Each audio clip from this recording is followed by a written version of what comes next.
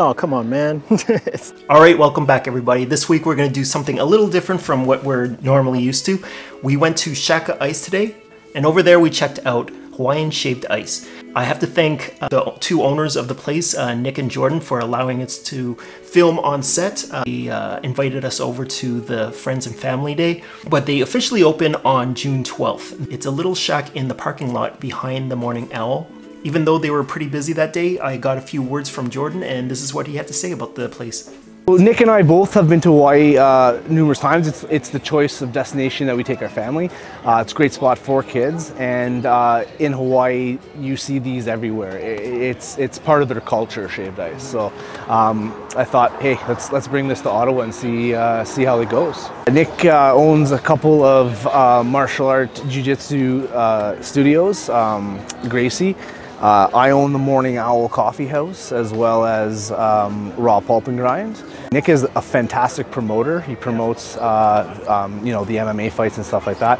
Um, and uh, you know, I got the food aspect down, and uh, yeah, together we've made a, a, pretty good partnership so far. Yeah, I've known I've known Nick for well over 20 years. Yeah. Oh, okay. So yeah. this goes like way back. Way back to high school. Yeah. Okay. It's a fun event. It's fun. Yeah, exactly. It's a fun. We want to keep it fun. We want to keep it light. We're only doing it on the weekends. It's not meant uh, for stress. It's meant for the exact opposite. Like, it's it's not for money it's it's for it's it's a passion project right now. Yeah, it's it's great seeing the smile on kids' faces. It's, it's something I haven't seen in a long time. And I heard that uh, Nick kind of has those bouncy castles as well. Will, will, we be able to see some bouncy castles over here? I think so. I think so. Nick Nick started uh, the Ottawa Bouncy Castle Festival, which uh, has been a huge success over the last couple of years. Obviously, the, the pandemic has stunted it uh, this year and last year.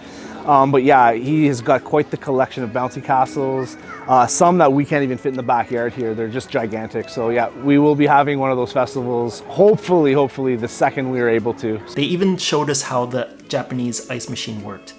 Now, you'll see that they had to still cut up all the ice manually and then they put it into the ice maker. It's a pretty industrial machine, uh, so huge blocks of ice can fit in there.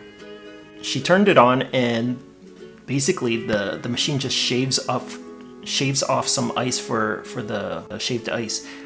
Originally, when they're, they're shaved like that, it'll look like snow. She packs it in a bit more with a, a little device and uh, just so that we can get as much ice as possible onto that little cone.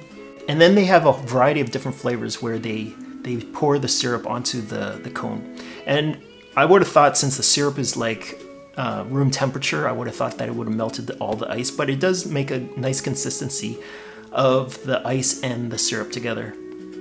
This is what Sami and I thought of it when we first tried it out. So um, we're out here at Shaka Ice, and it's the first tasting of it. Pretty good. Really, really like it. I, uh, I mean, simple idea, but so delicious, and I think those are the best ones. So um, I'll probably be back here again. You know, it's behind the Morning Owl, not too far from where I am. Zip up here on my bike and get a cool ice treat. I think it's a little better because it's not like a, a, Slurpee where you just like suck on a straw and stuff like that. Yeah, it's like yeah. in a in a spoon. You scoop it. Kind of taking your time. Mm-hmm. I like the flavor. You got the Hawaiian. Yeah. Figured we're in a Hawaiian shaved ice place.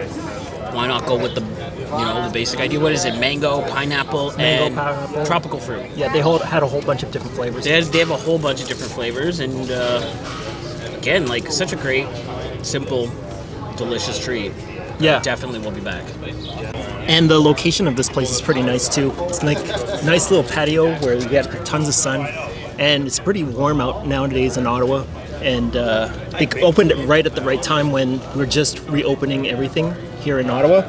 The thing that I like most about this is the fact that you're eating it with the spoon and you're not going to get a brain freeze from it. Mm. You know when you like suck on the the Slurpee. Mm-hmm. You drink it really fast, and then you get those brain freezes. This is at your the, the your mo- own pace. Your own pace, yeah.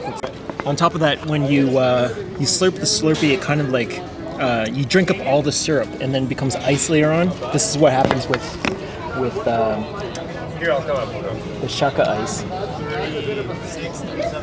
Yeah, so it ba- basically becomes more syrupy rather rather than how it how normal Slurpees are.